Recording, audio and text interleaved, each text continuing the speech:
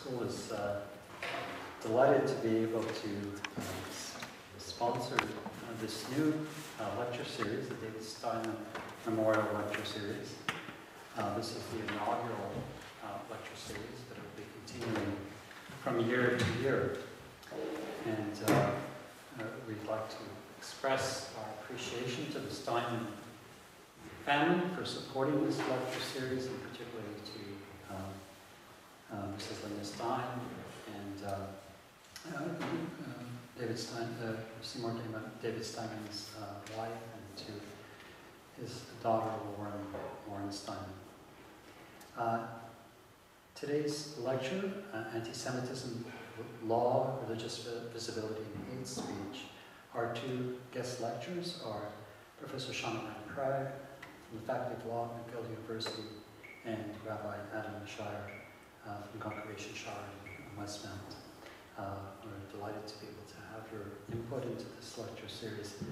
Um, The uh, lecture series continues the the fourth and final uh, lecture will be given uh, next, uh, next week, November 14th, uh, on immigration, minority rights, and religious freedom in the United States and Canada with Dr. Nathan Oman, co-director of the Center of Law at William and Mary School of Law, and Dr. Morton Weinfeld, director of Canadian Ethnic Studies at the Department of Sociology at McGill. Uh, I'd uh, like to briefly introduce uh, Lauren Steinman. Lauren is a PhD student at the School of Religious Studies. Um, her work, uh, her research project uh, in her PhD work largely focuses on issues of uh, religious extremism, both right and left-wing forms of religious So has a, certainly has a connection to some of the themes being explored in this uh, lecture series this year.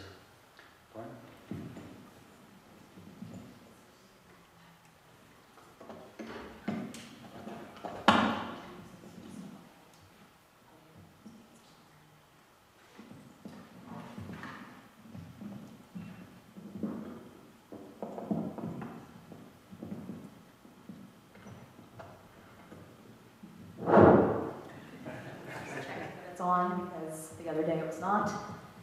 Okay, so hi everyone. Um, my name is Lauren Steinman, and I would like to take this opportunity to welcome you to the lecture series in memory of my father, Seymour David Steinman.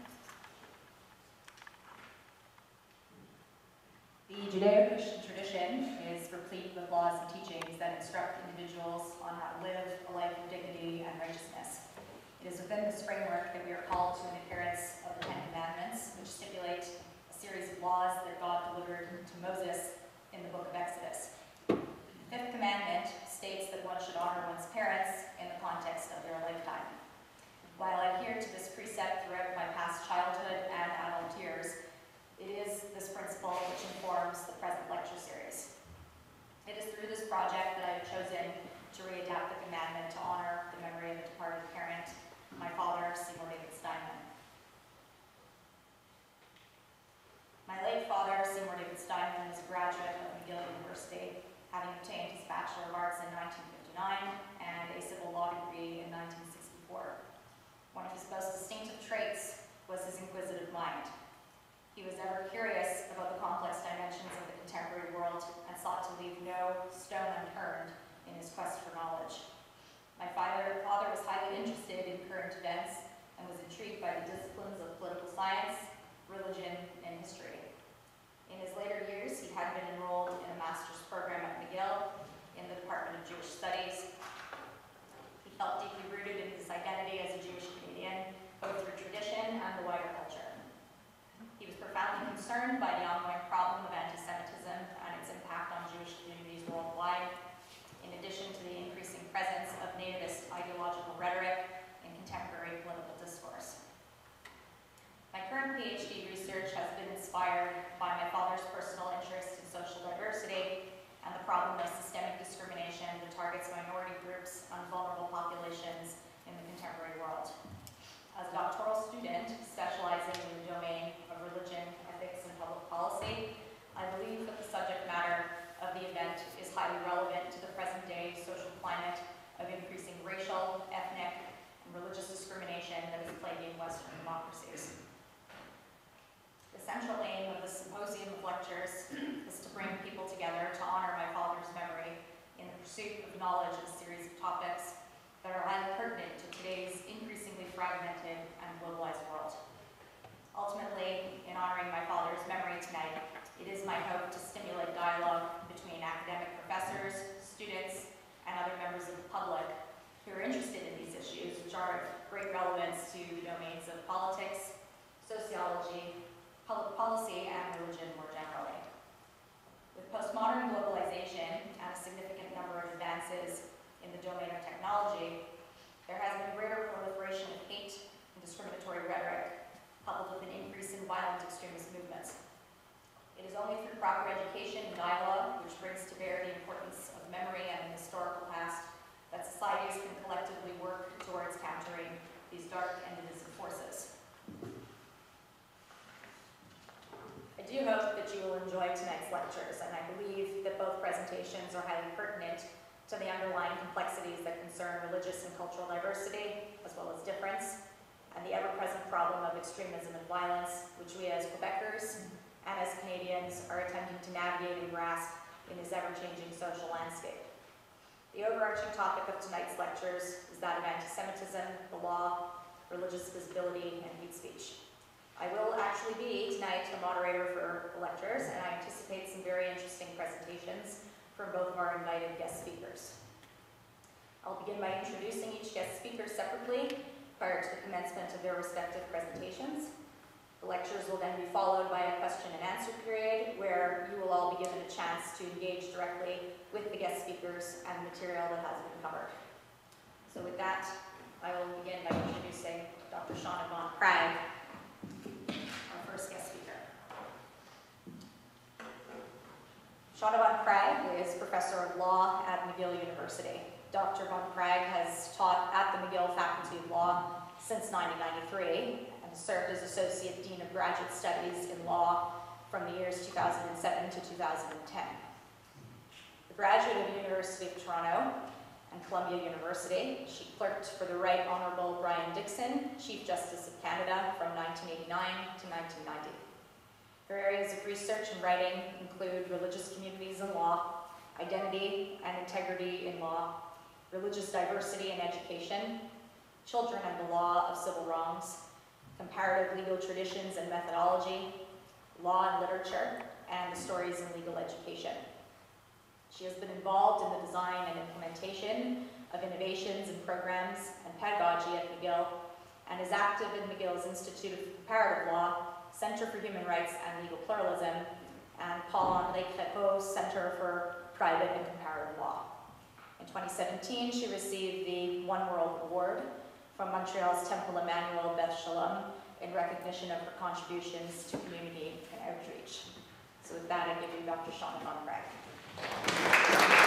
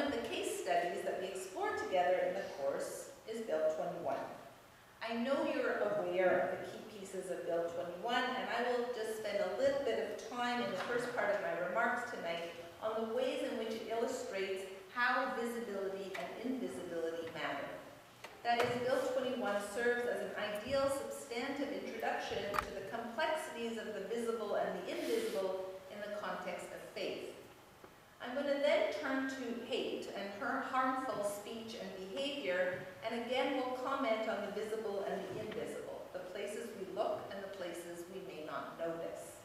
And finally, I will turn to law and explore the visible and not so visible norms that govern our everyday lives and human interactions. Throughout, I will incorporate examples and challenges and voices linked to Jewish identity. The experience of being the literal and symbolic other is woven into Jewish identity. It is part of the fabric of Jewish history. But it also goes hand in hand with belonging, with participating, with willingness to engage in tough conversations, with collaborations across the permeable borders that shape community, with imagining and identifying with individuals and groups who know the phenomenon of otherness all too well. So let me start with the visibility and invisibility of faith. Introduced in March of this year in Quebec's National Assembly, Bill 21, an act respecting the laicity of the state, purports to affirm the particular secular character of Quebec by articulating foundational principles and the precise requirements to which they give rise. Four principles ground the characterization of Quebec as a lay state, separation of state and religion, state religious neutrality, equality of citizens, and freedom of conscience. The bill then moves to the requirements that flow from the characterization, focusing on the appearance of religious neutrality and the wearing of religious symbols. There's a long list of problems with the act respecting the laicity of the state. But I want to point out the dynamics of the visible and invisible with reference to the legislation. First, the vocabulary in the bill is explicit and visible. Laicity is created as a new English word, ostensibly to capture the unique nature of secularism or religious neutrality, laïcité in Quebec. Instead of religion, singular, the bill refers to religions, plural, to make sure that all faith communities get the message. But notice the invisible in the text. Religious symbols are left undefined ostensibly to invite the broadest possible interpretation, but also leaving room for ongoing confusion and argument. Most obviously, the link is invisible between the objective of ensuring religious neutrality of contemporary state institutions and the means of prohibition on the wearing of particular items by individuals of faith. And recognition that existing institutions and frameworks, including the Quebec Charter of Human Rights and Freedoms, already served the goals of fairness, equality, state neutrality, and meaningful integration of all members of society is also submerged from view. Conversely, fear of unchecked bias on the part of the individuals targeted by the act as they interact with others is manufactured and enlarged. Something that could have faded into the background is brought into view and then held in focus. Notice that paying attention to how faith manifests itself in how individuals present themselves is not unique. In Philip Roth's short story, Eli the Fanatic, a Jewish lawyer named Eli Peck sends a letter to Mr. Tzuref, the headmaster of the town's yeshiva. He is particularly concerned about the appearance of one man dressed in black, complete with side curls and a black hat. Peck writes, It seems to me that what most disturbs my neighbors are the visits to town by the gentleman in the black hat, suit, etc. This is a progressive suburban community whose members, both Jewish and Gentile, are anxious that their families live in comfort and beauty and serenity. This is, after all, the 20th century, and we do not think it too much to ask that the members of our community dress in a manner appropriate to the time and place. Tzuref responds, the suit the gentleman wears is all he's got. Notice that there, um, sorry, so let me talk for a moment about why the man in the black suit makes um, uh, everyone nervous in the Philip Roth story.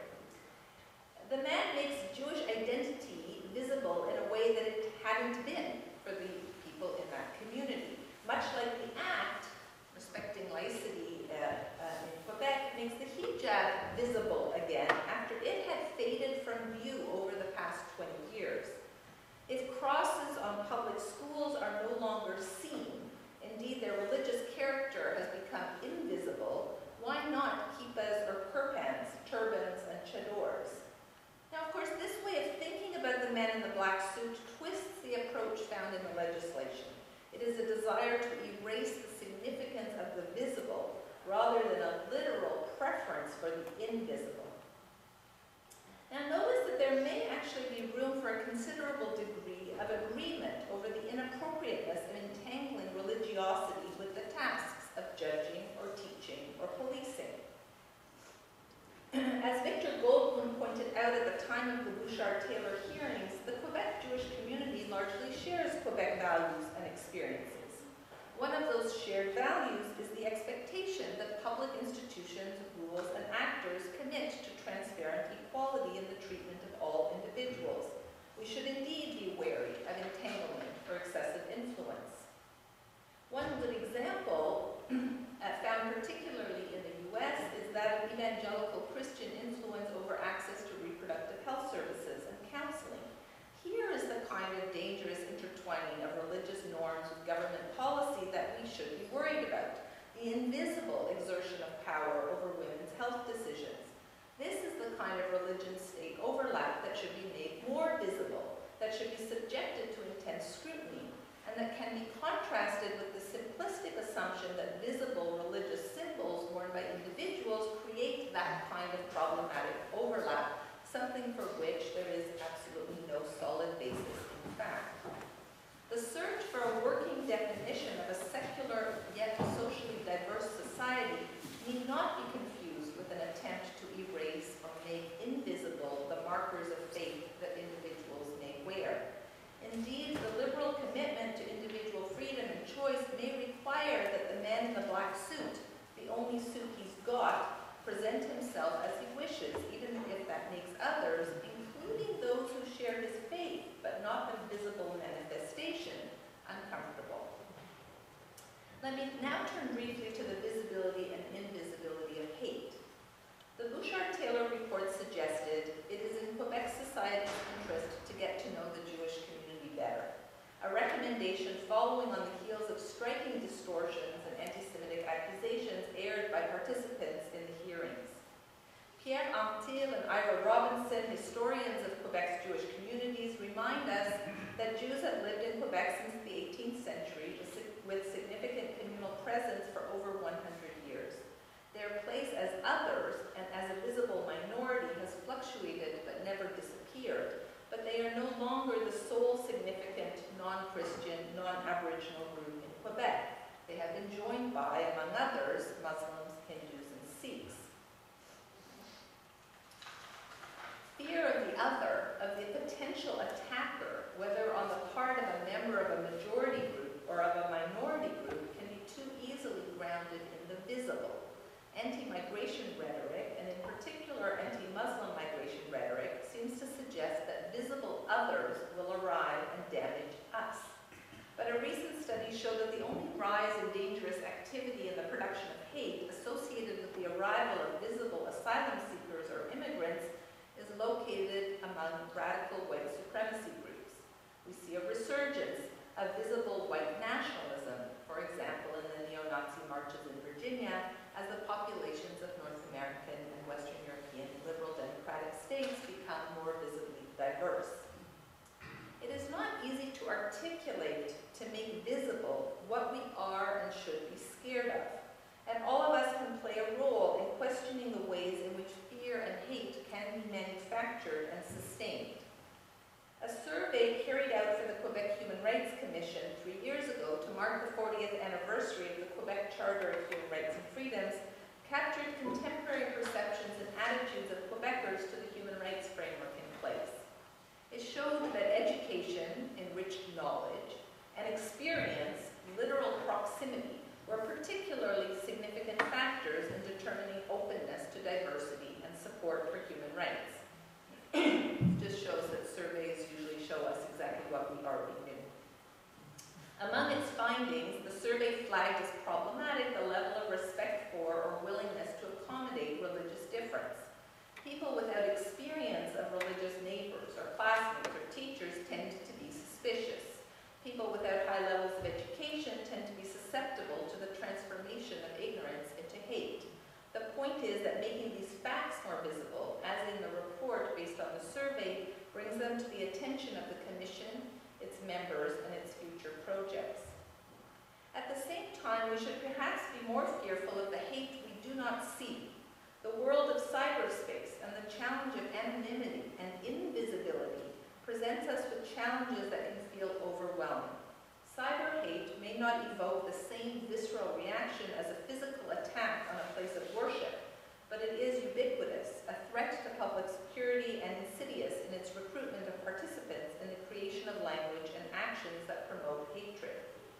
As Professor Jocelyn Maclure points out in a recent article on the regulation of hateful and harmful speech, new information and communication technologies give anyone who has an internet connection multiple platforms to express themselves without first having to go through gatekeepers. Trolls are now better known as characters of the internet, he says, than as inhabitants of Scandinavian caves and forests. And I would add, or the pages of Harry Potter. We started with a piece of legislation, an explicit, visible example of law that has shaped conversations, actions, and alliances. We then briefly talked about the visible and invisible sites and forms of fear and hate. In response to those sites and forms, people usually turn to law. This time as a vehicle of response and remedy, of condemnation, of safety. So in the time remaining, I'm going to talk about the visible and not so visible faces and functions of law. Over three decades ago, I was introduced, along with many first-year students of law in Canada, to two Ontario cases from the 1940s. they were both focused on racist and anti-Semitic restrictions on the transfer of land. This was in cottage country in northern Ontario. In one of the cases, decided in 1945, the Ontario High Court held that forbidding the sale of land to, quote, Jews and other objectionable would-be purchasers was contrary to public policy. In the second, in 1948, the same court declared that individual freedom to contract could not be constrained. That means that the restrictions stayed. My professor led us through a discussion of some of the most tenacious and difficult problems in the study and practice of law, and provocatively pointed out the dangers of referring to public policy, given that 1940s Ontario was far from dedicated to the eradication of anti-Semitism. Interestingly, the Supreme Court of Canada was noticeable in its absence from the discussion. The second case did, in fact, make it to the highest court, but members of that court offered no reasons that sounded like they wanted to do the right thing in terms of morality and justice in post-World War II Canada. Instead, their reasons for lifting the restrictions on the sale of the land to Jews were grounded in the scope of an arcane rule in property conveyancing and alternatively in uncertainty of the words used in the agreement. One of the judges said that the problem was that the language of the clause under scrutiny failed, quote, to indicate the intention of the parties as to the amount or degree of the prohibited race or blood that might be permitted. That was the problem with it. For a first-year student in law, this was somewhat bewildering. Why not count on courts to explicitly, visibly do the right thing, use law as a tool to correct discriminatory attitudes and harmful behaviors? What good was an invisible and backdoor opening to the possibility of changing the customs and interactions of people in their everyday lives? Three years later, 30 years ago, I found myself at the Supreme Court of Canada, clerking for Chief Justice Brian Dickson when the case of Keegstra arrived on appeal. By then, I was beginning to appreciate the complexities of drawing straightforward, visible, causal connections between the words of a Supreme Court judgment and the ways in which members of Canadian society interact with each other. Keegstra invited the Supreme Court to address head-on, for the first time under the fairly new Canadian Charter of Rights and Freedoms, the question of whether criminal law should be used to suppress the willful promotion. At issue was the scope of free expression in this country and its relationship to respect for equality and multicultural diversity, also visibly protected by the Charter. So let's go back in time together. James Keegstra taught social studies courses to grade 12 students in Eckville, Alberta. In them, he taught that Jews and Judaism were linked to, to certain attributes or adjectives, including treacherous, subversive, sadistic, evil, and had created the myth of the Holocaust to gain sympathy. He was charged under the Criminal Code of Canada with willful promotion of hatred against an identifiable group. The court had to decide whether the promotion of hatred in the form of hate literature or hate propaganda or hate mongering was protected expression or not under the Charter. I have gone back to the memo I wrote for Chief Justice Dickson, preparing him to hear the case. I wrote, we are dealing with something that is intangible and emotional, and while we know it is linked to greater intolerance and racism in society, there is no clear-cut way to say that the legislation is not controlling an attempt to convey a meaning. The words and acts are those which, in their very essence, are incompatible with the conditions necessary to support the exercise of rights and freedoms in a free and democratic society like Canada. The drafting of a careful response to the hard questions raised here will test this court's responsiveness to new ideas about expression. The final majority judgment by Chief Justice Dickson offered that kind of careful response. He was willing to include Keegstra's words within a large and generous definition of human expression, but was also insistent on recognizing the harmful nature of those words for individuals, groups, and importantly, our entire society, as he upheld the criminal code provision. The boundaries between acceptable and protected expression on one hand and criminally prohibited expression on the other were drawn precisely where the criminal code had suggested, at willful promotion of hatred against an identifiable group. Criminalizing this kind of expression indicates Canada's desire to use its strongest and most visible legal tool available for condemnation. And in 2013, the Supreme Court reaffirmed its support for the criminal regulation of hate speech, saying that hate speech lays the groundwork for possible later broad attacks on vulnerable groups. Representations, the court said, that expose a target group to detestation tend to inspire enmity and extreme ill will against them, which goes beyond mere disdain or dislike. Representations vilifying a person or group will seek to abuse, denigrate, or delegitimize them, to render them lawless, dangerous, unworthy, or unacceptable in the eyes of the audience. Hate speech goes far beyond merely discrediting, humiliating, or offending the victims. But if we ask ourselves whether putting Keegstra in jail can visibly connected to a sense of collective responsibility to infuse our speech with respect for others, I think we should be skeptical. Perhaps that skepticism is particularly appropriate when we imagine using the criminal law in a meaningful and far-reaching way to delineate boundaries in the context of electronic communication. Back in 1989, the companion case argued at the Supreme Court along with Keegstra was Taylor, in which John Ross Taylor, president of the Western Guard Party, had placed hateful anti-Semitic messages on a telephone answering machine and then publicized the Toronto phone number, inviting callers to dial in and listen. Now this seems laughably antiquated now. We have come a long way from a time at which we worried about telephone answering messages. Now, as I have already suggested, we are focused on cyber-related expression. And under the criminal code, offenses such as uttering threats, defamatory libel, criminal harassment, distribution and production of child pornography, and of course, willful promotion of hatred can all belong on a list of cyber-related activities. More difficult, however, to target is cyberbullying, something that we know can have tragic consequences. Legislative attempts to target electronic communication expected to cause fear, distress, or damage to well-being have been struck down for infringing free expression by casting the net much too broadly. The judgments I've talked about show that the Charter can provide sensible limits to individual freedom, but that those limits are themselves necessarily limited in their form and scope. Harmful words are not the same as hate speech, and they can't be treated that way. Trying to characterize all harmful speech as hate speech and thus to criminalize it may seem like the best way to deal with it.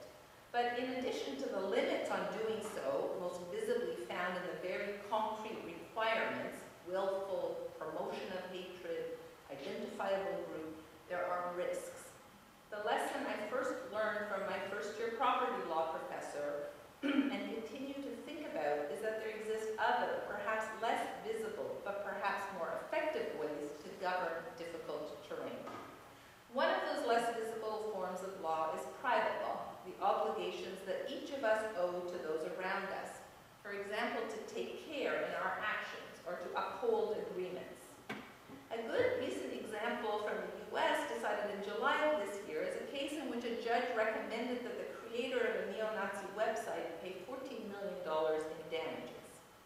Tanya Gersh, a Jewish real estate agent in Montana, was subjected to a vicious and sustained anti-Semitic uh, harassment and intimidation campaign that included 700 messages sent when the publisher of the Daily Stormer website called for a troll storm against her and her family. That same publisher had earlier been ordered separate lawsuits to pay millions in damages to a Muslim comedian and to an African American woman student government leader. The possibility of bringing a claim against another individual and asking for compensation for actual harm suffered represents an alternative response that may coexist with or replace criminal sanction.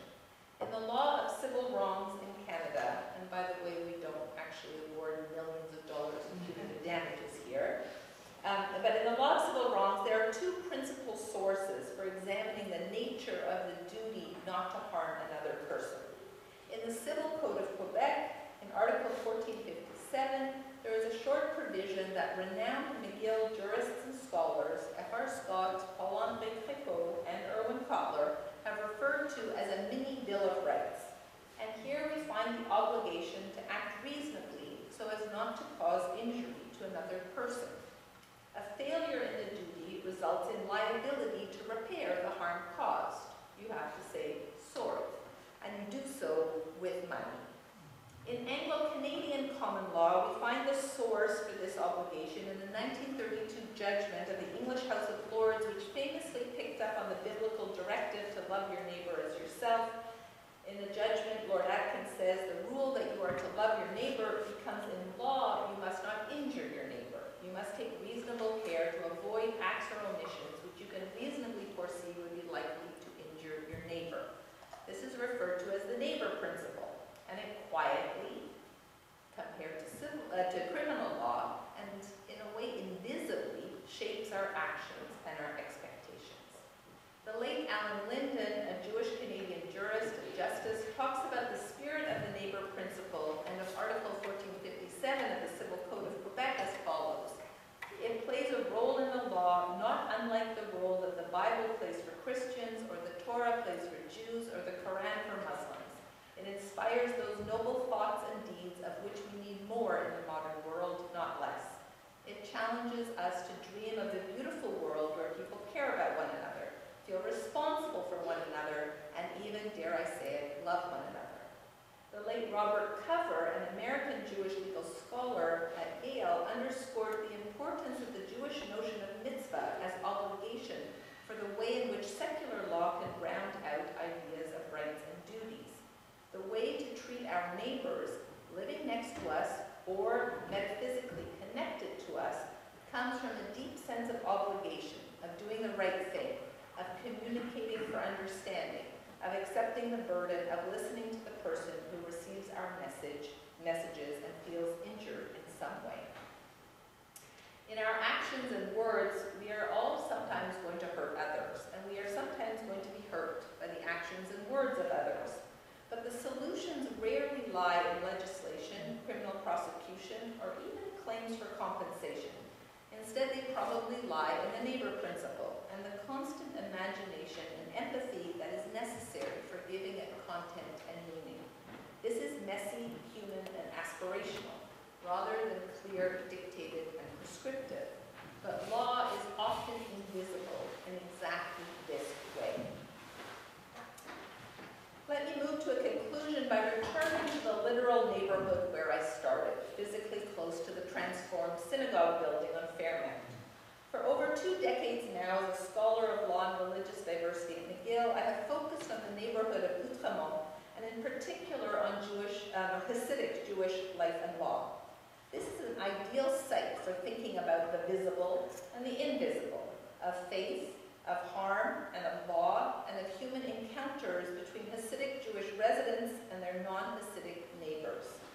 This is where the man in the black suit is not simply a fictional character in a Philip Roth story. Instead, men, women, and children who belong to the multiple Hasidic Jewish communities at Outremont present themselves every day in a visible, explicit way. Orthodox or traditional versions of any faith community remind us that religion, as system of belief and practice, and indeed as legal tradition, can challenge the state's rule of law in unique and powerful ways through its allegiance-demanding sources and stories, commandments, and codes. The rules that govern the interactions of the residents of Outremont include human rights charters, the criminal code, Article 1457 of the Civil Code of Quebec, and now also an act uh, respecting laicity. But they also include religious commandments, stories, beliefs, norms, customs, and expectations. And they go further to include normative orders found in the playgrounds, on the sidewalks, in the neighborhood newspaper. Law is both visible and invisible all of the time. Law is both formal and informal all of the time. Law is both situated at the level of the state, and at the level of civil society all of the time. Turning only to the official, the visible rules to figure out how religious communities and their members live in a society provides a very partial view. Instead, we can look for less visible ways in which the sacred and the secular always share space as neighbors in overlapping spheres. So, for example, we can contemplate the sharing of a school playground in Outremont by Hasidic and non-Hasidic children after school hours and on the weekends. We can consider the recent recommendations of the Director of Youth Protection in Quebec uh, to do a better job of adapting child welfare practices with respect to the children of insular communities. We the possibilities of meeting provincial education requirements through homeschooling. For over a hundred years, Jews and non-Jews in Outremont have struggled to find measures that might bring reasonable peace and harmony. From the early 1900s, when public school dances were moved after intense discussions from Friday to Saturday nights, to the early 2000s and the negotiation of dates for sukkah building every fall. As illustrated in Pierre Arthur and Ira Robinson's very recently published book collection, Les Juifs Hasidiques de Montréal, conversations continue, conflicts continue, and the construction and sustainability of coexistence is always dynamic, sometimes surprising. Leonard Cohen wrote, there is a crack in everything, that's how the light gets in. It is right to worry about harmful language and action, about ungrounded antagonism to religious minority participants in society, about hate directed at particular communities, whether newly arrived or long integrated. But the most visible narratives are sometimes not the most important, and sometimes they lead us to dead ends. Instead, looking for what might seem invisible, like the synagogue behind the school, is worthwhile, whether in thinking about faith, about hate, or about law. It is right to worry about barriers to holding on to faith while participating fully in civil society. It is right to worry about the boundaries between harmful and even distressing words and actions on one hand and insidious hate mongering on the other. But it is also crucial to realize that barriers can come down and boundaries can shift. What is visible today may become invisible and vice versa. There are cracks in everything. I started with an image of a synagogue from a past generation transformed into a school, and have used it as a metaphor to examine visibility and invisibility matters, and how visibility and invisibility matter. But communities, uh, communities evolve. Neighborhoods change, buildings take on new shapes and functions. I will end by walking us all a few blocks away in order to arrive at a Hasidic Jewish bakery Bernard and Park.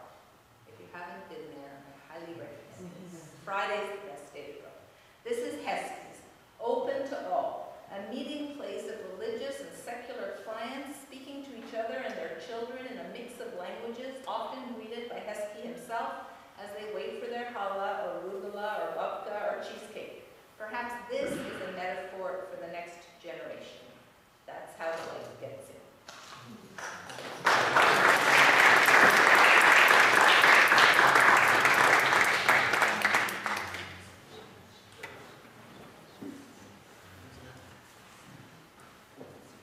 Thank you, Dr. Van Praagh, for a very inspirational and multi-layered presentation.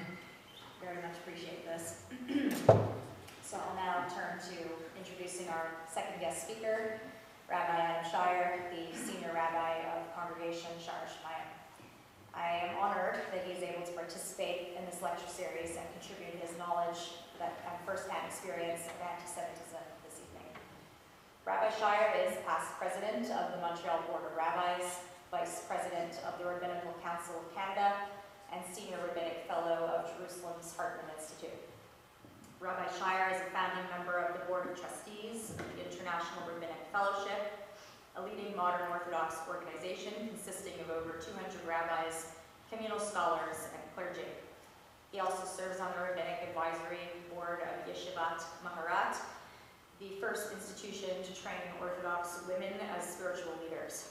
Rabbi Scheier is proud to be the rabbi of the first synagogue to hire a graduate of Yeshivat Maharat. That would be Rachel Kohl Finegold. Prior to his post in Montreal, Rabbi Scheier participated in the founding and development of the first yeshiva in post-World War II Germany and has continued to work extensively with the immigrant Jewish community in Germany. He has been an advocate for spiritual activism on behalf of Jews around the world. He has led solidarity visits to many different communities, including Paris following the 2015 attack on Hyper Cacher, Montana following anti-Semitic threats against the local Jewish community, and Venezuela following hate crimes against the Jewish community. In 2010, Rabbi Scheier testified before a Canadian parliamentary committee on the topic of human rights in Venezuela. In 2015, Rabbi Scheier co-edited and published the Canadian Haggadah Canadienne, which received positive acclaim in Canada and worldwide. In 2016, Rabbi Scheier was honored to accompany Prime Minister Justin Trudeau on his visit to Poland and Auschwitz. Rabbi Scheier has published editorial pieces in the Montreal Gazette, the Times of Israel, and Sieges the Exchange, and is also a frequent contributor to the Canadian. Rabbi Scheier is married to Rabbi Abby Scheier, and they have been blessed with the squad of A's, five daughters, Avia, Ayelet, Anna El, Allegra, and Dorella. With that, I do give you Rabbi Scheier.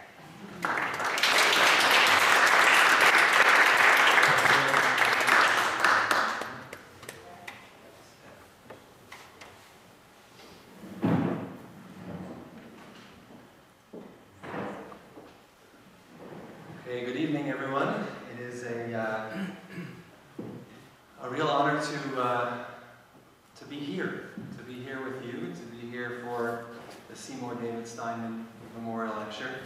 I, uh, I was very blessed to know, to know Seymour for, for many years, as, as uh, many in this room were as well. He was a, a force for, for learning, for adult education in our congregation, and uh, and also a frequent distributor of emails and feedback on sermons. And, and I once uh, received an email, which I mentioned at the time of his passing. I received an email from him. He forwarded a sermon of Rabbi Jonathan Sacks and, uh, from, from the UK. And the sermon actually mentions uh, his brother, uh, late brother Ralph, but, but the sermon was really about legacy. And the sermon asked the question, how do you want to be remembered? And the answer to the question in that sermon was, uh, was too often we spend our time on things that are urgent and neglect the things that are important, the good we do, the love we give, the difference we make to other people's lives. And so I, I find that very fitting as he shared with me this question, how do you want to be remembered? That we sit here this evening and offer thoughts in, in his memory. So thank you for, for thank you, Lauren, for all of your hard work to organize this and all the sessions, and, and Linda as well. Uh, we pray that, uh, Seymour's uh, neshama, his soul, should have an aliyah, should ascend to the, the highest heights of, of the heavens.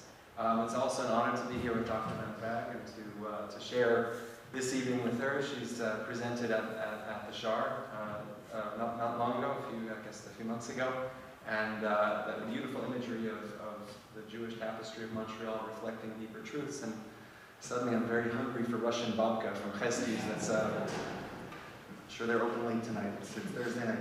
Um, I, I, want to, to start the, the, the topic of, of this uh, talk, I hope brief talk, is the anatomy of anti-Semitism, which I gave the topic before I started writing the talk, of course, and realized that that's a big, that's a big topic, the anatomy of anti-Semitism. What is, what is anti-Semitism? And I want to start with, with two jokes, because, you know, I think at, at a certain point, when something's been around for, for millennia, and there's this hatred that just exists and won't go away. You try lots of different ways of coping with it. And, and you speak up and you run away and you hide, and, and then at a certain point, the gallows humor comes out. And there are pre-war jokes that, that actually there, there existed in, in Germany, pre-war Germany.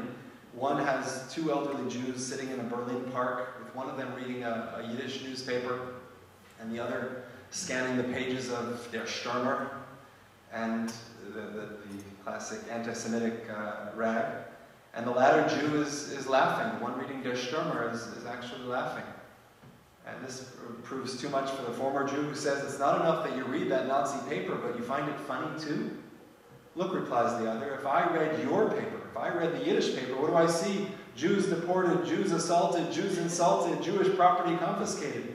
But I read Der Stürmer, and there's finally good news. It seems that we Jews own and control the world. Uh, another joke says that sees an anti-Semite talking and saying that the problems of the world are all because of the Jews. And the Jew overhears this statement. The problems of the world are all because of the Jews. And the Jew interjects and says, not only the Jews, the bicyclists also. The cyclists are the problem, the cyclists and the Jews. And the anti-Semite looks at him quizzically and says, why the cyclists? And he answers, well, why the Jews? That's the joke. That's the...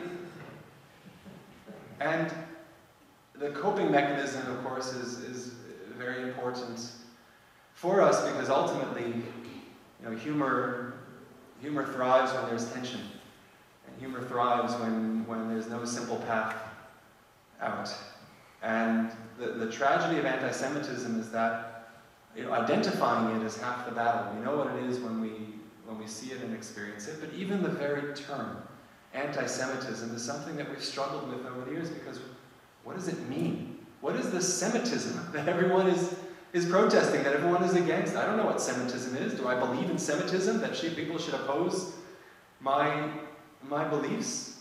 And the scholar Deborah Lipstadt, the historian Deborah Lipstadt, has, has proposed that we take the hyphen out of anti-Semitism, just make it one term because it's not anti-Semitism. Or others have said it should be replaced entirely. What is it? It's anti-Jewish. Call it, call it for what it is. Let's stop calling it anti-Semitic. What is sanitized term. Nobody knows any Semites that should be protected. Anti-Jewish. That's what, that's what the phrase is. And I'll speak you know, personally for a moment. A, um, a Hasidic Jew with whom I'm, I'm a, a close friend. We speak, he speaks Yiddish as his primary language and, and uh, of course, an Anglophone. And we meet somewhere in the middle. I speak, uh, my German is better than my Yiddish, so I try. He tries a little bit with his, his English, but he works and operates primarily in Yiddish, lives here in, in Montreal, and is a very successful businessman, a family man. And he asked me uh, over, over dinner one night, we shared a Shabbat dinner together. And he said to me, he said to me, Rabbi, tell me, how much are you Jewish? There was a language gap there. Said, how much am I Jewish? I'm, I'm pretty Jewish, I think. I'm, I would say close to 100% if you, I think. I'm Jewish. And, and he was, I was kind of struggling, and there were other people around, and started, started speaking in Yiddish, and the pace got faster and faster, kind of frustrated, trying to ask this question. And what was the question? The question was, how much of the time are you identified as a Jew when you walk out there in the streets? Meaning you are a rabbi, but clean shaven, can put on a baseball hat, walk into the Bell Center, cheer for my Buffalo Sabres or the Habs or whatever it is, and leave, and nobody will judge you as a Jew. I, on the other hand, he said to me, I have these long pipes, I have the beard, I can't walk onto a bus in Montreal without being judged for something that I haven't done, that I shouldn't be responsible for, without people making assumptions about me. I am a tax-paying Canadian citizen and contribute to society in whatever way that I, I, I think is, is a productive way of contributing to society, and yet I can't walk into the into the into, into the depanneur, I can't walk into the, the bodega down the street, I can't I can't walk anywhere without being judged for being a Jew. And I reflected on my own experience as a Jew and with anti-Semitism, and I'll, I'll say very clearly I don't see myself as a victim of anti-Semitism, but I see myself as a community that has been historically and continues to be victimized. I grew up in the United States, in Rochester, New York. My experiences with anti-Semitism were, I think, fairly typical for a public school student in Rochester, New York. I was struggling for years with the decision to wear a kippah. I did not come from a religious background.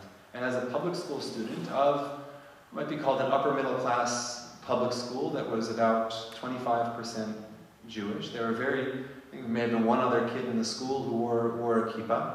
And I was becoming more and more connected to my faith, to my religion.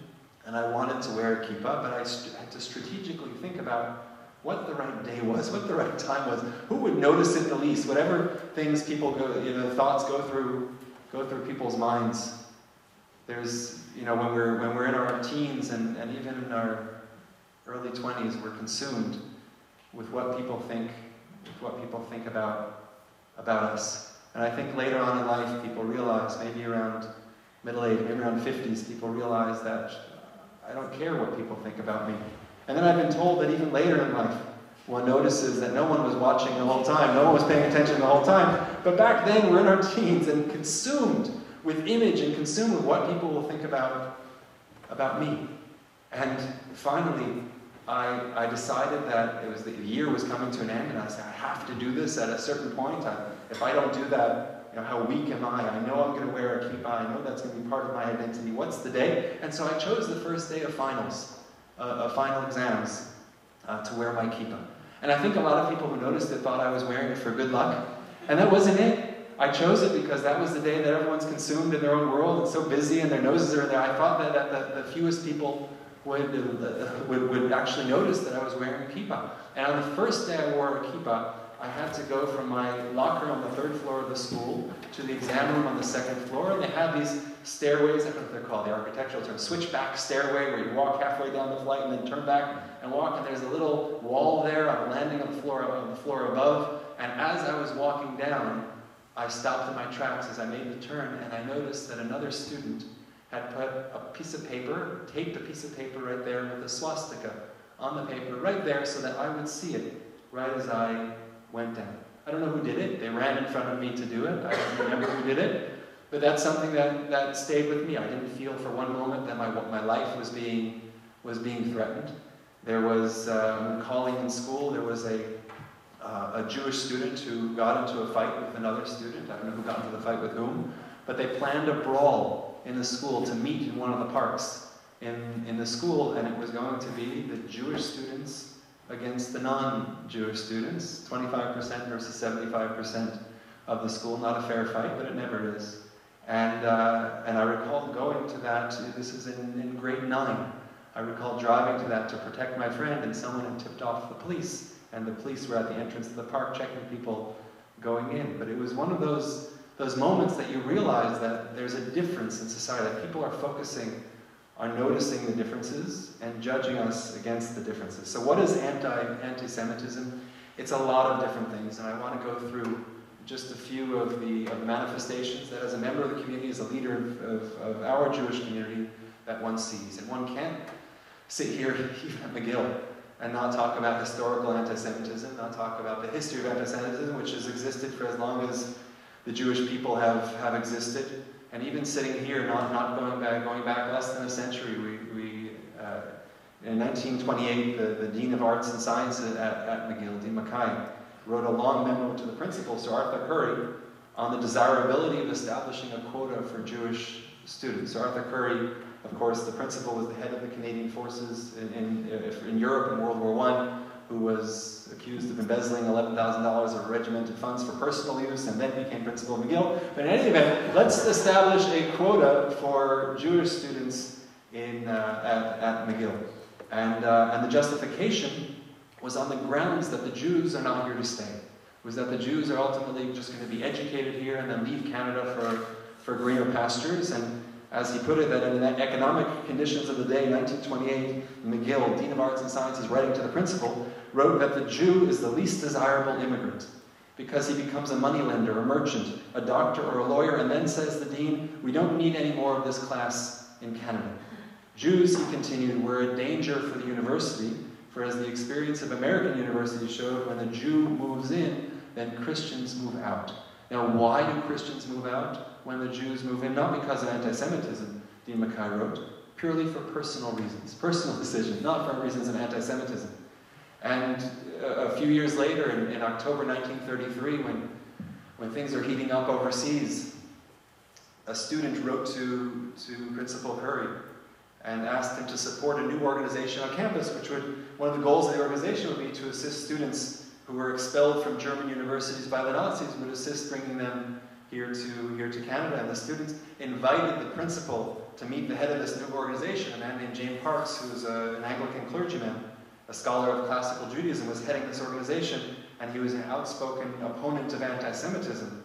And Currie refused to meet Parkes uh, because, on, on, or, or even to lend his name to the project. He said he agrees that there are many students who have been, who have, who have suffered persecution, and I would throw, he wrote, I would throw no cold water on efforts to help those who were thrown out by the Nazis. But were I able to contribute more than I do now, then I would give support to that project. Because I have limited energies, he wrote, I want to help students driven out of McGill because they lack the financial resources to see them through to, uh, to graduation. So there's limited, limited uh, resources. We, we, we, uh, there's also, and, and my, my uh, I'll give credit to my, my father-in-law, Rabbi Michael Brown, who's done, Professor Michael Brown from York University, who did a good deal of uh, research on anti-Semitism in Canada, uh, in particular in the 1930s and 40s, and he, he uncovered that uh, the president of the University of Toronto, a man named H.J. Cody, who was an Anglican clergyman, wrote to McGill asking about the university's policy regarding Jewish students who requested not to write their exams on Shabbat or on holidays. And Principal Currie replied immediately, he said, we have never made any exceptions except for in two cases, both of them rabbis' daughters. And he explained, it's our experience that the Hebrew clergy are loudest in their protest. And I don't think that the students care a rap whether they write the examination on Saturday or not. The vehemence of the protest, too, lessens each year. Lessens each year. Um, and, you know, we can go on and on with these, with these examples. So I think historical anti-Semitism is, is certainly important to, uh, to point out and discuss. But I will say that historical anti-Semitism has, has changed. It has evolved. The motivations that led the Jewish community of Montreal, for example, to establish many of our communal institutions, to establish our own golf clubs, because where else is a Jew going to golf? To establish our own hospitals, because where else is a Jewish doctor going to practice? To establish our own, our own fitness centers, the YMHA. Why, where else are Jews going to go schwitz and work out and, and engage in physical activity? They can't go to the other places. Where else are Jews going to go study if there's a quota at this, at this school? And many of those impediments that, that, uh, that were typical of, of classical anti Semitism do not exist anymore, do not exist in, in Western society. There is no country in the Western world, in the civilized world, that has codified laws that persecute the Jewish community as was historically as was historically the case. And I want to step back and appreciate the blessing that is to live in Canada in the 21st century and in exploring anti-Semitism don't want to won't, don't want to uh, dismiss this reality as, as a blessing, that this perhaps is the greatest time in the greatest country here in Canada for a Jew to exist at any point in human history. That doesn't mean it's perfect. And it doesn't even mean it's good. It just means it's better than it's ever than it's ever been. And the impediments that have existed in terms of political, uh, being active in politics, or in any professional area of, of, professional existence, and that I have lived in Montreal now for 15 years. I have worn a kippah on the streets of Montreal for 15 years, and never have I heard a word of protest or question uh, from anyone at any point that made me feel uncomfortable or self-conscious about, about my kippah, which I can't say about living in Germany, and I can't say about my experiences in France and, and elsewhere in Europe and in, and in Venezuela and many other countries where I'm not comfortable wearing a kippah, and where I've been advised not to wear a kippah, and where I've been shouted out for wearing a kippah, uh, both by people who wanted to protect me and by those who were, who were offended by, by, my very, by my very existence. Where do we see anti-Semitism? Where does the Jewish community perceive anti-Semitism? It perceives it for sure in the political realm. And I could give example after example after example of where anti-Semitism emerges in politics. One could point no further than the United Nations Human Rights Council. And much has been said about this council, much has been said about uh, corruption that exists within, within the council, the motivations of the council, but simply from its, uh, from its inception, I'm not sure the year, but through 2016, the United Nations Human Rights Council adopted a total of 128 resolutions. That's the council that oversees human rights in the world. 128 resolutions. Of these resolutions, 67 related to Israel. 61 related to the rest of the world. So more than half, to simplify the math, more than half, 62% of the countries, by the way, that are represented at the, at the United Nations Human Rights Council don't pass the basic uh, requirements for free speech within their countries, but we'll put that aside as to, as to who is judging whom. But more than half of the resolutions targeting, targeting Israel. And I want to kind of question that for a moment. What is happening there? And, and for me, there are two possible options. Number one is that Israel is the worst violator of human rights. I hope nobody's uh, recording this and taking that quote out of, out of context. But one option for this is that Israel is the worst violator of, of human rights. Um, it's a difficult premise for me personally to accept. Um, as one who, who knows Israel intimately, has family living there, um, is deeply connected with what goes on in the country, and, and, both in terms of the problems of the country and, and what I find very inspiring and beautiful uh, the country, and also as one looks around the world and, and, and looks at you know, torture in, in Algeria, one looks at forced child labor in the Congo, one looks at attacks on dissidents in, in Cuba, one looks at abuse of foreign workers in Qatar, one looks at, at, at, at detentions in the United Arab Emirates, one looks at the, at, the imprisonment of democracy leaders in Venezuela, one looks at arbitrary arrests in Vietnam, one looks at the way that that women, that gays are treated in, in, in much of much of the Middle East. It's very difficult for me to accept that Israel is the absolute worst violator of human rights to the point where Israel would be singled out, um, would be singled out by more than half of, of the resolutions, and there were certain years, it is getting better, there is improvement, but there were certain years in which Israel was the only country discussed at the United Nations, United Nations Human Rights Council which has no parallel. It's not like there are a number of human rights councils, the United Nations, and this one is specifically, is specifically uh, designated as the Israel uh, Council, but this is the council for the world, for the United Nations, Human Rights Council in Geneva, dealing, uh, fixated primarily with Israel. So it could be option number one is that they've hit on something that I've missed and that so many people have missed, which is that Israel is just as terrible as, as that, which I'm not willing to accept. And the other option is that there is this fixation, and that it has existed for as long as Israel has existed, it has existed for as long as the Jewish people have existed, and that the illogic of this fixation states that the root of the world's problems is Israel. And that as long as we can fix what's happening in Israel, then everything else will fall into place. If you fix Israel, you fix the world, you fix the Middle East. If there's peace between Israel and the Palestinians, then, then everything else will fall into place. Then Iran and Iraq will become partners and they'll, they'll go dancing in the streets together in a, in a, in a beautiful embrace. And, and, and, and the wolf and the lamb will, will lie together. Once again, to quote the prophet, the world will be, will be at peace.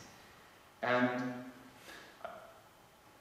the, the, the conflation of anti-Israel and anti-Semitism, the fixation on Israel, I can think of no better explanation, no worse explanation than that it is the only Jewish state in existence. A few years ago, maybe last year, two years ago, there was the case of the Jewish student who was running for office at SSMU, at the student, uh, for, for student government here at, at McGill, and he made the claim, and won't, won't rehash history, but made the claim that his candidacy was rejected. He was voted out of, and they made a unique, um, a unique step by voting not on the whole slate, but by voting for individuals. But he made the claim that because I am Jewish and because I'm affiliated with Jewish organizations, that's why I was left out of student government. That's why I was voted out of student government. And if you remember, McGill commissioned a, a, a, uh, an investigation into the matter. Um, it was Professor Spencer Boudreau who conducted uh, the investigation. The conclusion really speaks to how Jews feel when the world fixates on Israel. The conclusion said that, uh, the conclusion said, I quote, I can honestly say that my conclusion about this allegation that, that, that the student made, made after what I believe was a thorough investigation of the facts is that indisputable evidence does not substantiate the notion that the vote was motivated by anti-Semitism. The reason that he was not accepted or not voted in is not because he was Jewish. Rather, the reason, the report continues, I can state, however, that his affiliation with Jewish organizations that are supportive of the state of Israel, in addition to his actions against the boycott, divestment, sanction movement that targets Israel, was the reason for his non-approval. Meaning it's not because he's Jewish, it's because he likes the Jewish state. The reason that he wasn't, that he wasn't accepted. It's, it's that he's sympathetic. I mean, meaning it, it's, we've come a far way from you know, simply voicing a protest against the foreign country's policies, which is, which is always legitimate. We are determining that those who are supportive of Israel are unworthy of representing bodies here. We're not asking questions about whether he votes red or blue.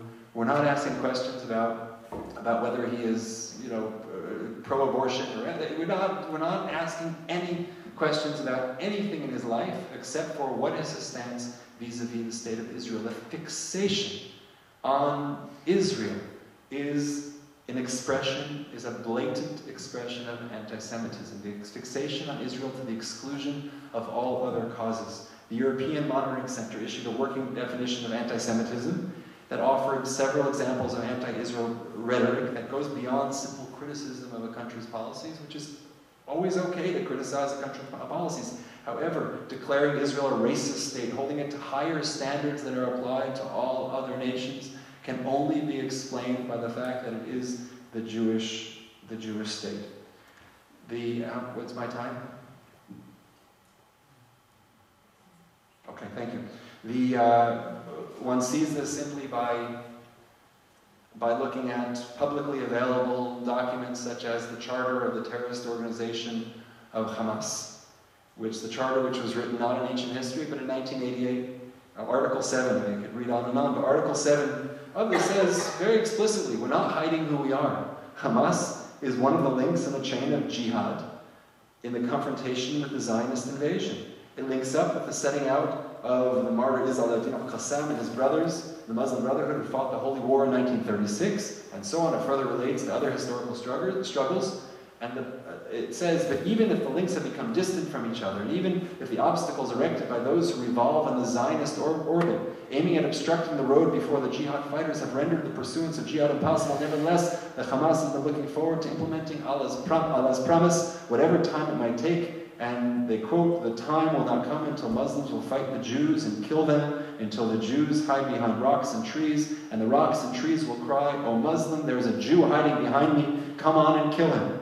This will not apply, and, and, and so on and so forth. I don't need to, to read more, and, and I, I don't mean to call out terror organizations for their clear ambitions to rain terror and to murder and to destroy, but we call out those who stand by idly. We call out, we call out the Labour Party in, in the UK, whose leader, Jeremy Corbyn, has, has, has said many things, has called the Hamas and Hezbollah's friends, has said that it was a big mistake to label them as a terror organization, and many different examples, which leads not to isolate these as, as isolated evils, but to talk about the impact of a, an organization declaring intention for genocide and acting on that intention. And then the civilized world offering, whether it's benign support or enthusiastic support, whatever it is, where does that leave someone who feels themselves as a target for these calls for, for murder?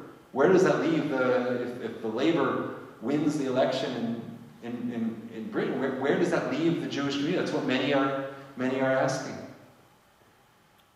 Just last week, in the town of, of Freiburg in Germany, there was a man named Samuel Kantorowicz who wears a kippah. I don't know Samuel, but I have friends who know who know Samuel.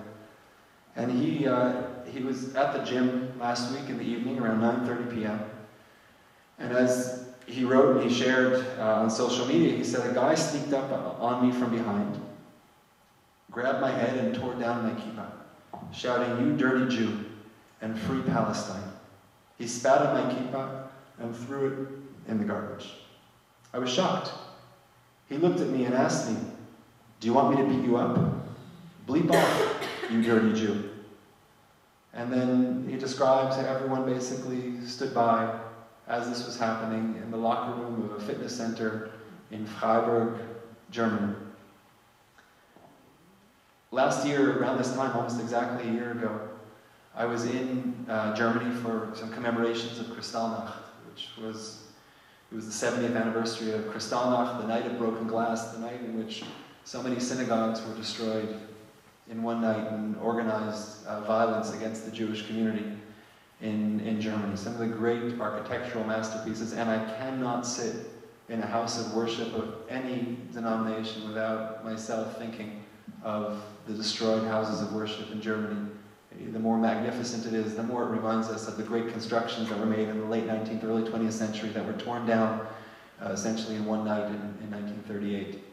And uh, I learned many things on that trip. I learned that no one had been arrested, that there were hundreds of synagogues vandalized, not one arrest, not one, not one confession. There was actually one confession that they found in somebody's autobiography years later who uh, had admitted to being a child and, and, and to, uh, to rioting and to taking some silver out of the, out of the synagogue, out of the synagogue's ark.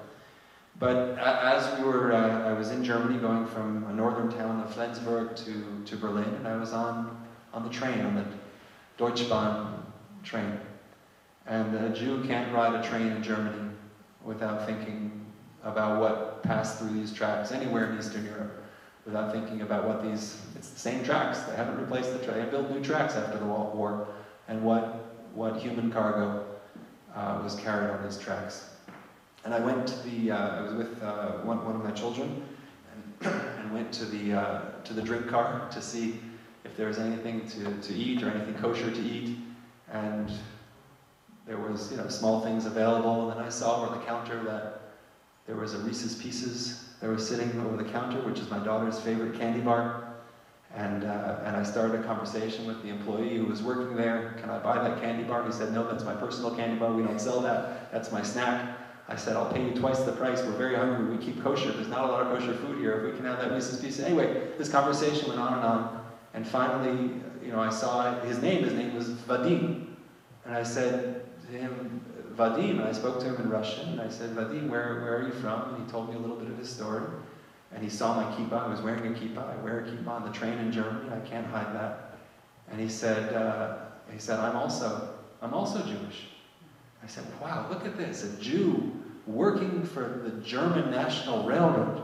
And I'm meeting them on the train between now between Hamburg and, and Berlin. This is amazing. So I started talking to him about his Jewish heritage and what he knows and what he's learned and where he grew up. I was very, I believe every interaction is for a reason, and, and this must be, there must be a reason for this. And, and then we were talking, and I said, Vadim, tell me about your parents. And he started telling me about his mother, and then mid-sentence, he turned his back to me and went to, the, to, to take some hot water out and fill up a cup for tea. Mid-sentence. And I saw what had happened. His colleague was walking in behind me.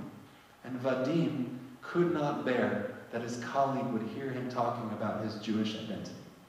And to me, that was tragic.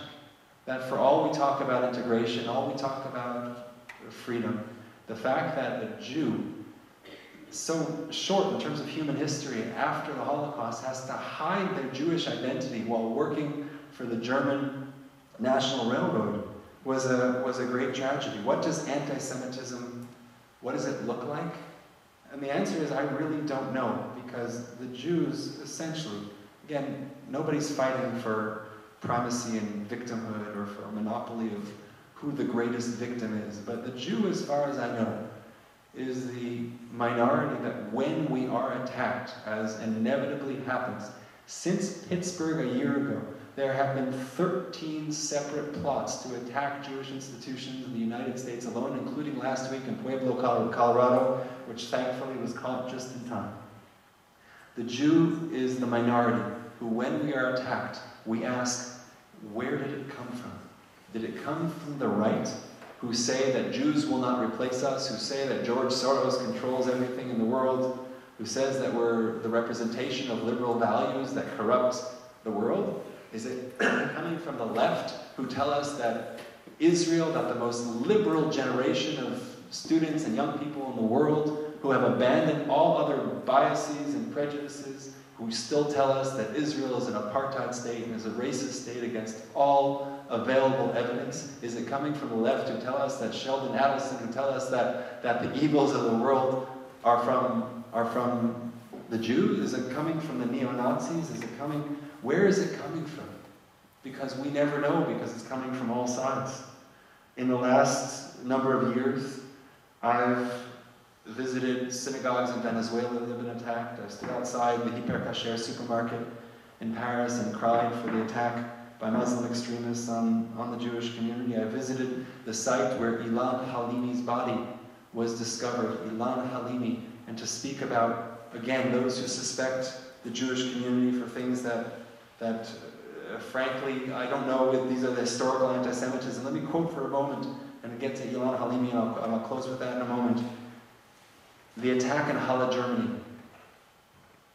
The rabbi of the synagogue, a very dear friend of mine, I went a few days later to visit and learned while I was there a quote I saw in, in Der Spiegel, in one of, the, one of the German newspapers, a quote of the mother of the terrorist who carried out the attack. And the mother of the terrorist said, Er hat nichts gegen Juden in dem Sinne. He has nothing against Jews per se. Er hat was gegen die Leute, die hinter die finanziellen Macht stehen. He has something against the people who stand behind financial power, the financial might of the world. Nothing against Jews, just against those who are controlling the world.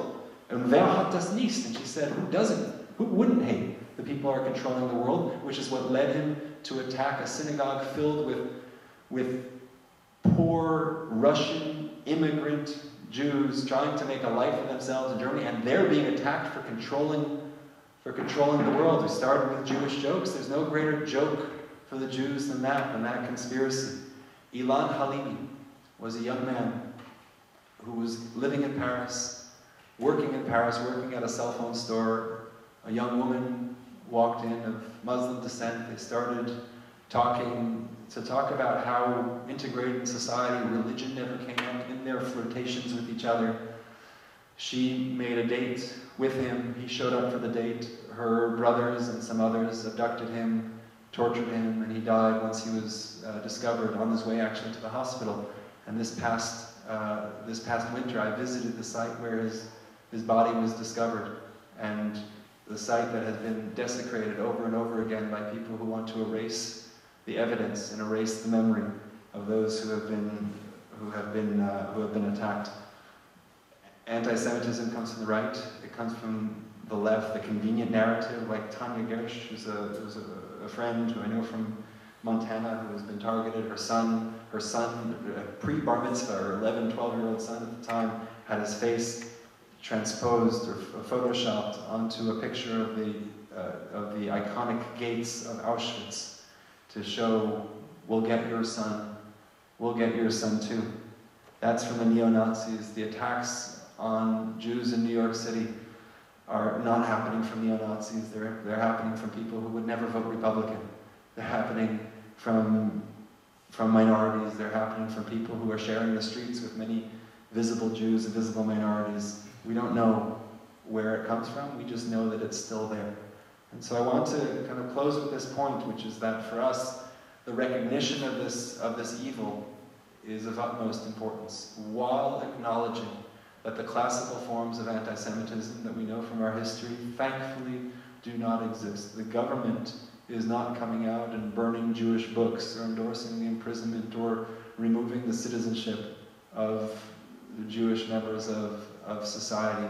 But that being said, we're always on alert and our eyes are always open because we know from our experience, from our collective experience, that what starts with words never ends with words. We know just how dangerous this hatred, this hatred can be. And I'll mention, spoke about the state of Israel. It was just a few short years ago that the Jewish population of the state of Israel exceeded the number of those who were murdered in the Holocaust. That it took some 70 years of the Jewish state to, and I won't use the word replace because that's not an appropriate word, but to match the numbers of those who were murdered in the Holocaust. It took the good part of a century to, um, uh, to restore the numbers at the, at, at, the very least. And that's something that, uh, that we look to for inspiration and will not be apologetic in our love for the state of Israel, which all, with all of its faults, but are very aware when people fixate on Israel, it's never about it's never about Israel, it's never about its policies, it's about something much uglier and much older that we that we know and see very well. Thank you very much.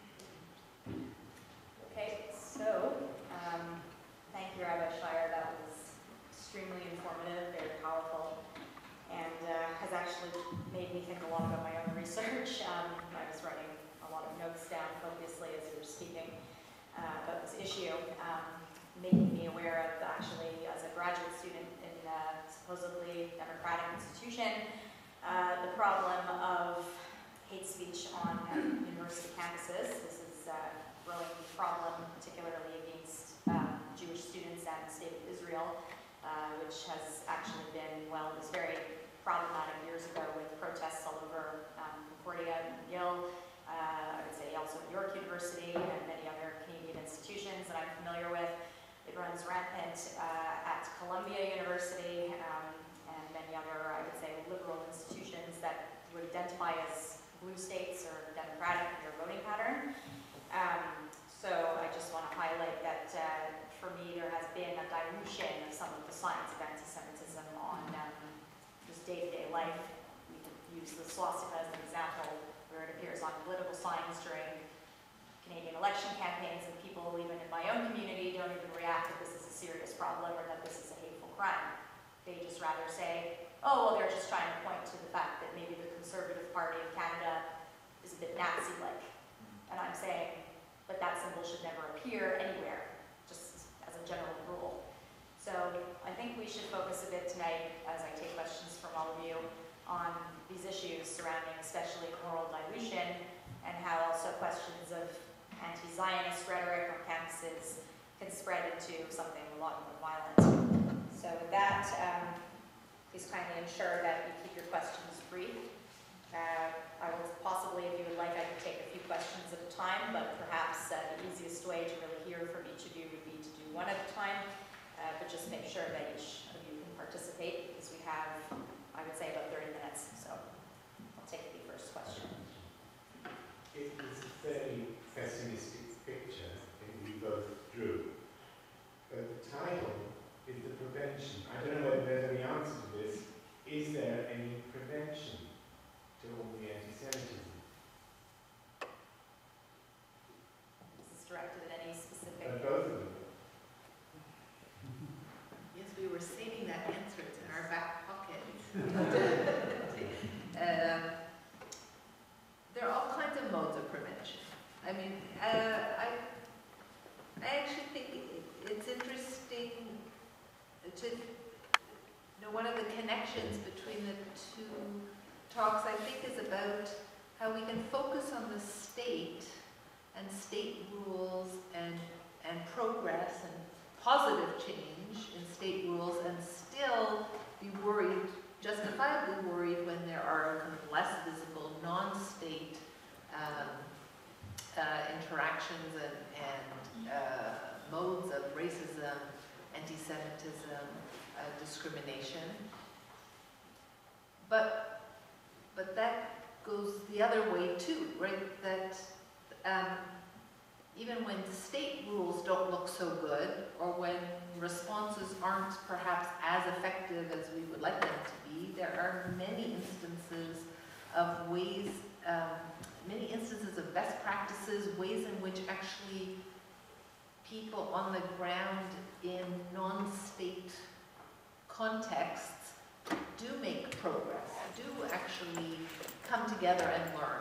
I mean, as a member of an academic community on a campus, I take it as my responsibility as a professor both to be aware of the ways in which, I'm not going to repeat what Lauren just talked, talked about in response to Rabbi Scheier's talk, way, ways in which there are misunderstandings, accusations, uh, uh, missed opportunities to sit and learn from each other and talk with each other. But it's also my responsibility as a professor to ensure that, that to model that kind of curiosity, constructive critique, possibility of learning, ways in which uh, uh, uh, sources and, and examples um, are, uh, are available uh, for students. So one of the things I do, for example, in social diversity and law is include Israeli examples in scholarship, sometimes in surprising ways for my students. Uh, so that when we talk about um, uh, uh, family law issues and adoption rules with respect to race matching or religion matching, we have, which has happened in many countries and uh, many different times. I'll use an, uh, an example of scholarship by the past uh, dean of the law school at Hebrew University. I use work done by a Bedouin feminist social worker here um, at, at McGill and Amal Elsana. So that students, I think, in a sense that that kind of normalizes. Like I just convey that that's these are these are sources just like others where we draw examples, we can be critical, but we're listening, we're learning together. Um, and so actually, I, I, I actually think that there are lots of possibilities and lots of ways in which we can be, um, uh, which we can be very positive. The fact that there's a municipal borough councillor in Outremont who's a Hasidic woman, and, and she has lots of challenges, both dealing with the other counselors who aren't Hasidic, but also dealing with people within the Hasidic community. Um, but that's, that's very positive. To me, they're all, that kind of depends on need to, to stick our head in the sand and kind of um, not uh, pay attention to rules and uh, examples and texts and um, confrontations, but also to look, for the constructive conversations and moments.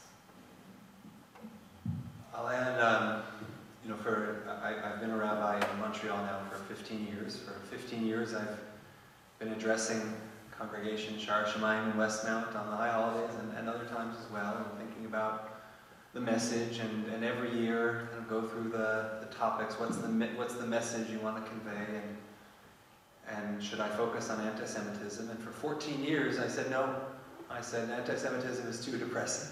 I want on, our holidays, we have to give hope. We have to of convey a message of, of strength and of, and of stability, and we're here to stay, and we're not going anywhere, and they're not going to chase us out. And for 14 years, I resisted, and then this year was the first year on the, the major holidays that I addressed uh, anti-Semitism, because I felt like we had reached a, a boiling point, that something had, something had changed in the, in, in the discourse.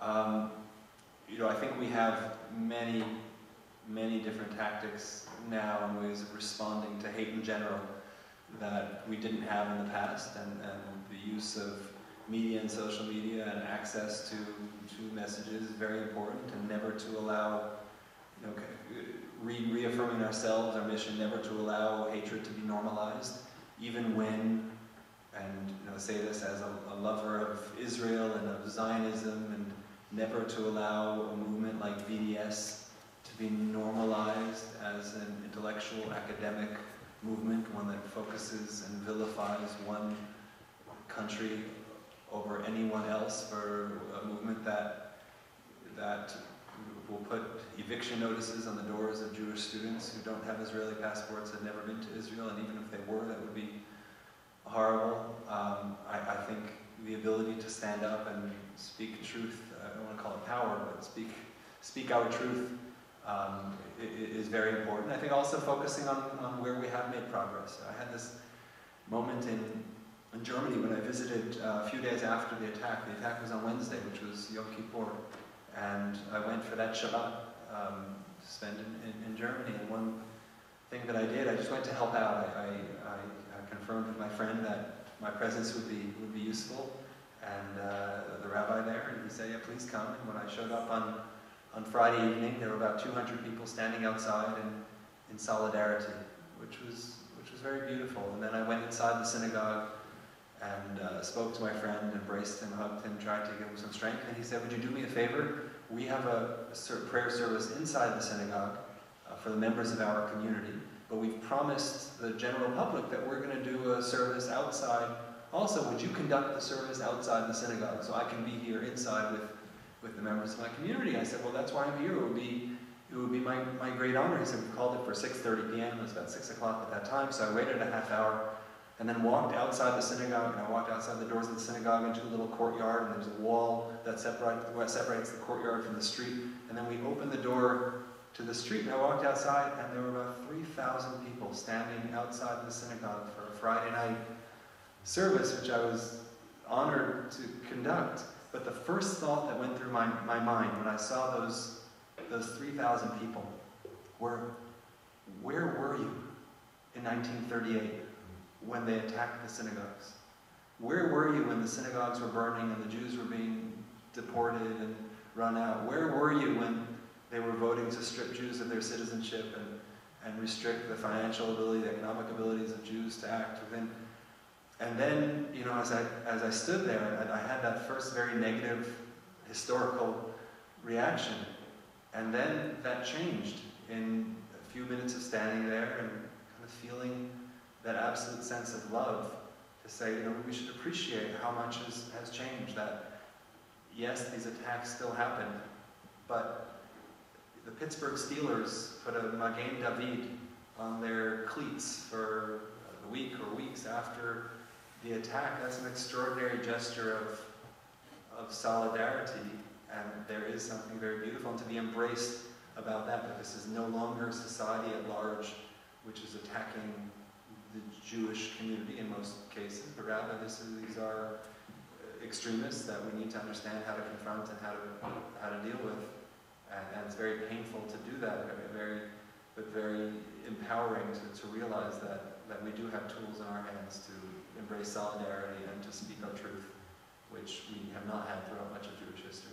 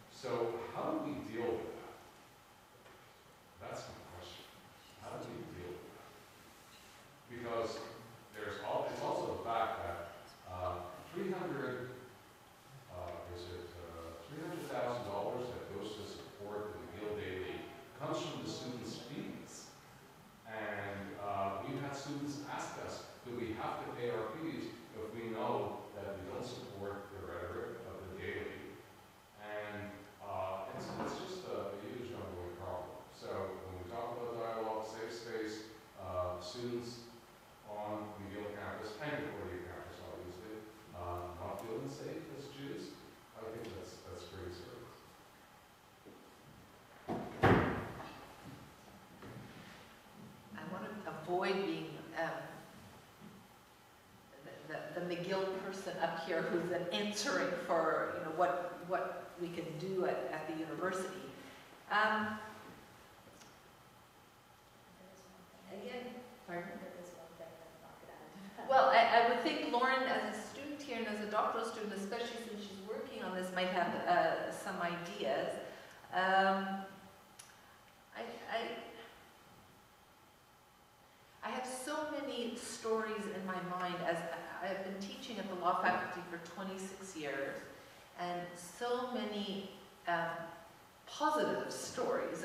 interaction actually at the Faculty of Law in particular. And it may be that the students who come to the Faculty of Law after having done some other education, or even as they come to law, they're, they're, they're often coming with some commitment to human rights. They're, they're, they're oh, I'm not saying they're all perfect and they don't make mistakes and they don't say things that, that might be hurtful, but they but they do come with a kind of sense of responsibility, I think, as students.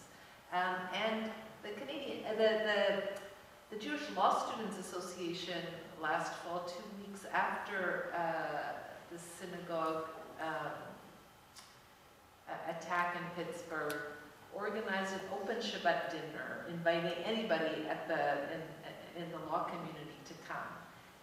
And they asked me to speak uh, um, as a, about reflections on being a Jewish jurist, in general. And then, so I thought, sure, I had gone to some Shabbat dinners for the Jewish Law Students Association over the years. They're usually five to ten people at a time. The, the morning of the Shabbat dinner, they said, by the way, we have 70 students at the Shabbat dinner this evening. I said, what do you mean you have 70 students? They said, oh yes, and there's a wait list. I mean, people want to come, they want to come together, they want to, and they're really looking forward to listening. And I think that, I mean, again, look, I, I'm not gonna, gonna apologize or, or, I'm not even apologize, like, I try to go through my daily life at McGill without paying attention to the McGill Daily, so, uh, but, and it is possible.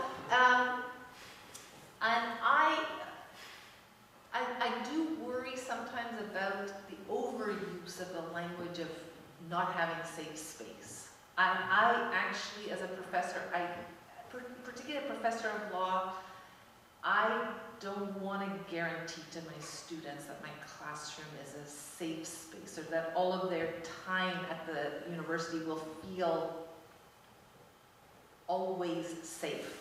Now, I, I, so here's where the fuzzy line is, right, between what is unacceptable and what is just really hard and something that you're going to learn from and you're going to participate in, you're going to contribute and you're not going to give up. And, and that's part of learning as a, as a university student. I, some of my classes, particularly in, in civil wrongs, are about things, horrible things that happen to people. And students come up and say they're very emotionally affected. And I say, good, that's what you have to be. And if you're going to be a good jurist, you better care. You can't, can't go through without feeling, without feeling empathy for the other, without feeling, um, without uh, sometimes feeling, uh, you know, worried about yourself and, and having your feelings hurt. I, I'm, I'm not always convinced that um, the trope of safety and security is going to get us to the kinds of conversations that we need to Maybe I have. should have expanded on that, and when I said safe space, because we were talking about debate, Right. I feel that there isn't a safe space for debate, because they are criticized so quickly And and. that is responsibility of everyone at the university to ensure that. I mean, God forbid the students should, you know, walk around and not feel safe. on No, no, no, but- but- I, I didn't really. Yeah. No, no, so absolutely, all, uh, all actors in a university setting should be committed to having that. I'll I, I don't think there's much I can add to, uh, to Professor Van Praagh's beautiful response to that. Um, but simply to you know, reiterate, obviously growth comes through conflict. And also that we, we always struggle as a community as to how much to focus on, on the negative. Do we reinforce a voice that ultimately would norm, normally be a marginalized voice by, by highlighting it? I, I don't, my sense is that you know, there are very few people who see the McGill Daily as the authentic voice of the McGill student student body. It, it is, it does have the name McGill, it does espouse certain positions, but, but uh, you know, by no means would, would anyone assume that that's the authoritative voice of, of McGill. I, I'm, I'm you reminded almost as an analogy of when um, in, in the first, when Obama was elected the first time, they tried to play on Islamophobic tropes and argue that Barack Obama was Muslim as a way of discounting him. And his campaign uh, tried to fight that and went out and said Barack Obama is not, is not a Muslim. And they, they learned that by repeating the negative, by even saying Barack Obama and Muslim in the same sentence, even though it contained the word not, that more people actually believed that he was by their refusal, and only by parading out his pastor and showing the church he had gone to for all those years, that they were able to, to kind of disprove that, that theory. And I think in many ways, you know, anything that's out there to try to discount or, or try to denigrate, we always struggle with how much do we fight it by fighting it. You know, has, has the McGill Daily's readership benefited tenfold by the fact that it put those offensive pieces out there and we fight it with such with such force? Are we amplifying their opinions? And I think we struggle with this as a community to make sure that when something is said, that we set the record straight, and when something is said in the name of university, that we make sure that that's clarified with university leadership as to whether that reflects the views of the university, and if so, to act appropriately. And on the other hand, sometimes what might represent an extremist view within within a group of people, such as the student body of McGill, might uh, might be best to, to, to lay there in the, in, the, in the shadows rather than to have our light shine on. it.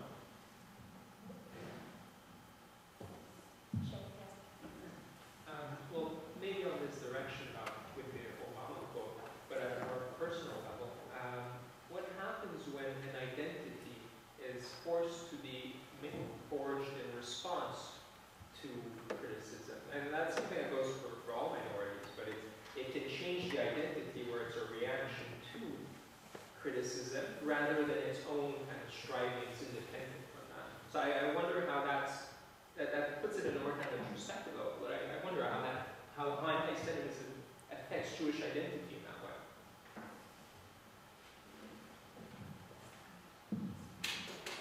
way. A great question. The answer is yes. It does affect. It does affect Jewish identity. Jewish identity. What would Judaism look like without anti-Semitism? Uh, we don't know. We've never. We've never seen it. What? What would a, a synagogue look like without security outside? Without a security guard standing outside? We, we don't. We don't remember anymore what what it was like, and that's our that's our struggle. You know, would we prefer to emphasize only the positive and to kind of relegate the Holocaust to kind of interesting anecdotes of history that could have happened, that happened then, but could never happen anymore. We would love to. We, we struggle with this as organizations constantly. Our synagogue, for example, how do we want to present ourselves? With open doors. Everyone who comes in should be embraced first before we, we check the contents of their, of their bags and make sure that they're not a threat to our physical safety. Um, I don't have anything more profound than simply to acknowledge that absolutely we are affected by being on the defensive, whether it's a real fear or a perceived fear, by positioning ourselves in this place of, if not victim, then potential, then potential victim, always around, around the corner. It holds us back from embracing positions of of, pride in many cases and, and kind of authentic uh, integrity of our positions and a fear of rebuttal and a fear of attack. Um, I think for, for sure it holds us back, it minimizes us, which is why discussions like this are so important to understand what it is that we're protecting ourselves against, changing our own identity, putting on not a mask but a shield, which, uh, which ultimately we hope will protect us, but may in many cases obscure our, our real identity, and we have to make sure that, that our voice, our authentic voice is heard, and not just that voice of, of self-protection. I'll just add a, a, a response with, with two um, small images. Um, one is from the year that my family um, spent in Buenos Aires in 2010-11.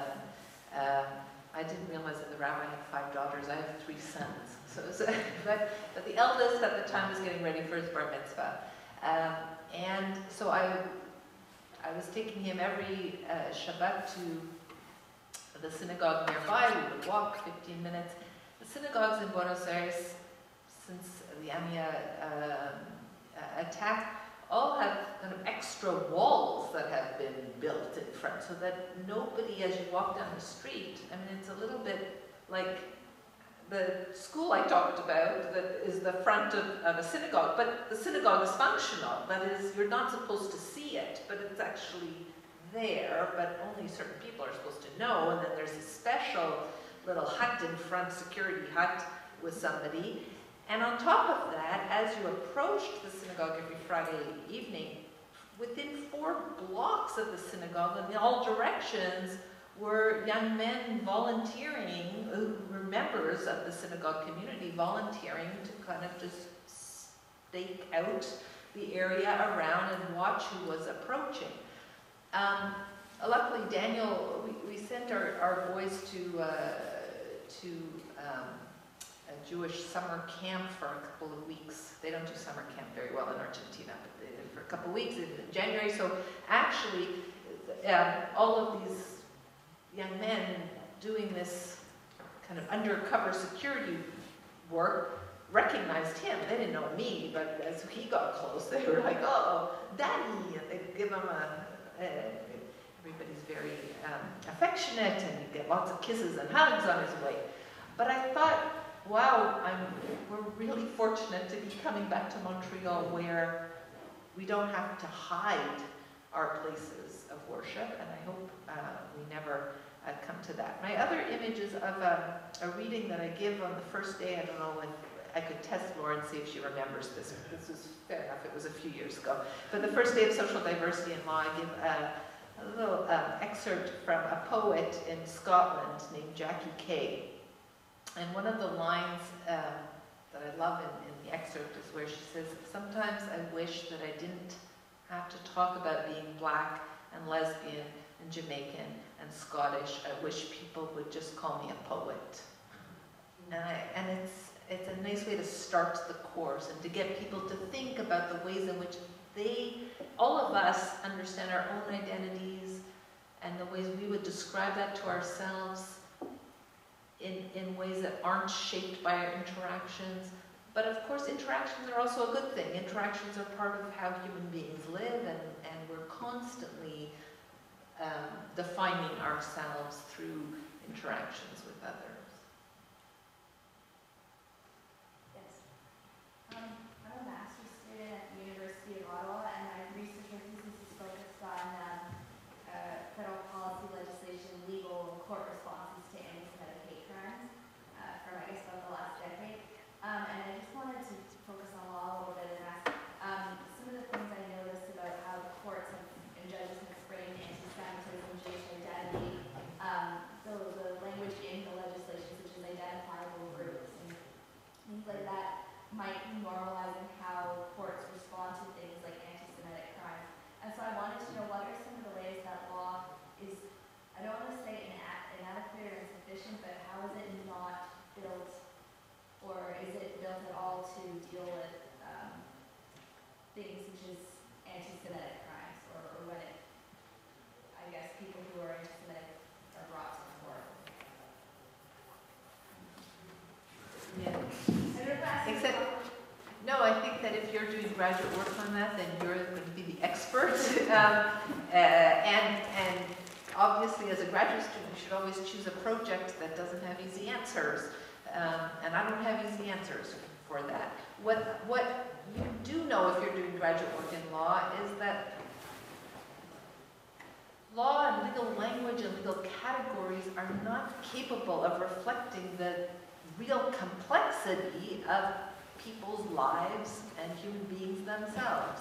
Right? Even um, uh, human rights charters and codes, you know, kind of, if you just read the words, it, it makes it sound as if we're all very easily characterized by these few words that are right, used to say that you can't discriminate on those bases.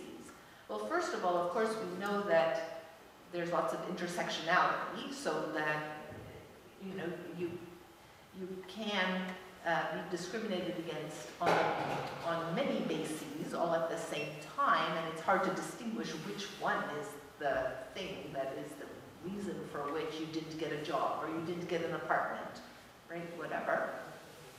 So there's that, but, but it's also that all of that, that categorization um, is, in a sense, necessarily in legal language somewhat simplistic when compared to the real complexities with which we understand ourselves, with which we experience something like anti-Semitism or racism or homophobia or sexism or whatever it is, there's just going to be a greater um, complexity to that.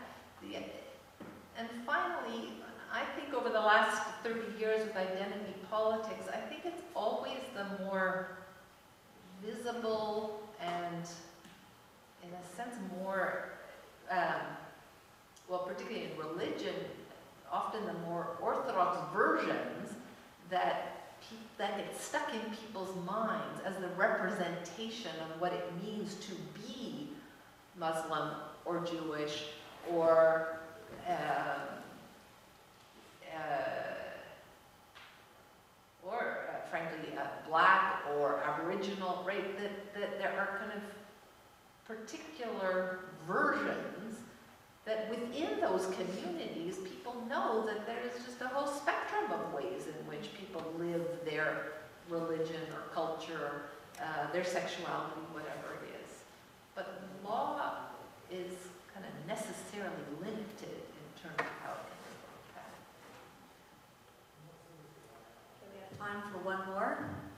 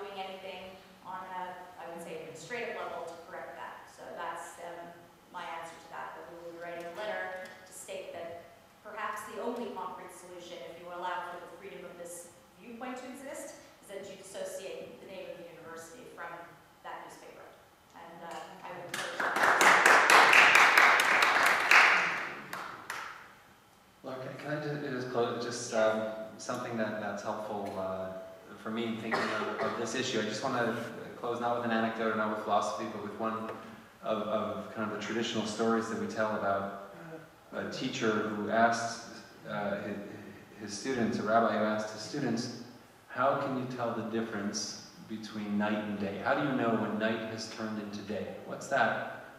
What's that moment? What does that look like?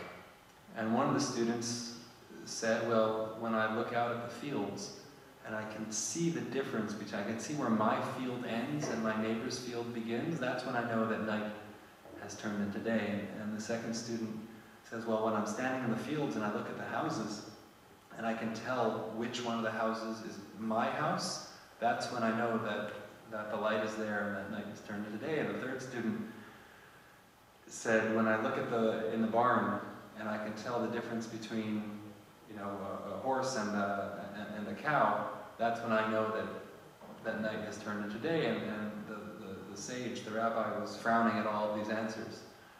And he said, you missed the point, because all you see when the light comes out is differences. You see the difference between my field and yours, you see the difference between my house and yours, you see the difference between this animal and that. All you see is distinctions. You say, I'll tell you when night turns to day is when I look at the person sitting next to me and I can see that they're my brother or my sister. I can see that we're alike. That's when I know that night has turned into day. And I think in exploring some of these darker corners of, of thought and, and hatred and the challenges of existence, to kind of look around and find and find bedfellows and find people with whom with whom we're like-minded and are willing to fight together for, for good, that's actually quite an empowering empowering experience. So I think it's, it's one thing, you know, to notice who is not here, it's quite another to notice who is here and to say this is actually a beautiful, beautiful gathering and there should be more like this and we'll, we already worked on our speeches, we'll do this again for a different crowd if you want. We'll come back. We're happy to do it. No, thank you.